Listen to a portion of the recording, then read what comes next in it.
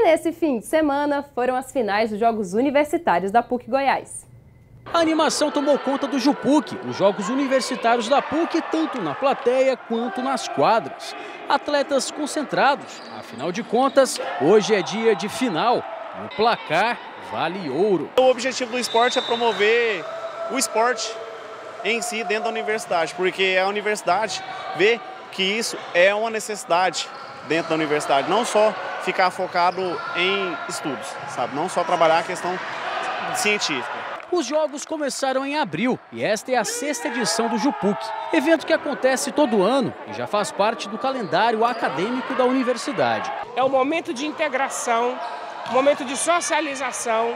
O esporte é um instrumento fundamental no aprendizado cidadão, porque você convive com diferenças, você convive com competição. Competição não significa desrespeito, não é? Então, ele representa valores que a PUC defende. Esse evento hoje é considerado um dos maiores eventos esportivos organizados por uma instituição de ensino superior. É, hoje nós temos aí aproximadamente 870 atletas inscritos no evento. Chegamos à fase final, né, com a participação aí de 23 atléticas, representando aproximadamente 28 cursos da instituição. Nossa equipe encontrou o time campeão de handebol feminino.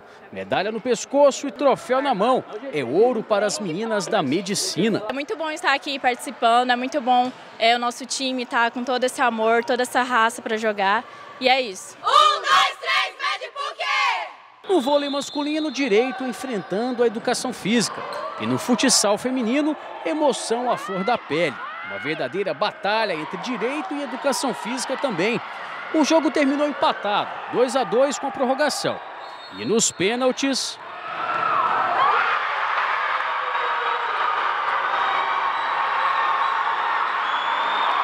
Vitória das estudantes de direito. Parabéns, pessoal. A goleira do time é uma verdadeira guerreira. Não é, Emily? Foi muito cansativo o jogo, mas valeu a pena, porque todo mundo aqui se esforçou. Eu só agradeço demais ter catado esse pênalti, estava demais a torcida.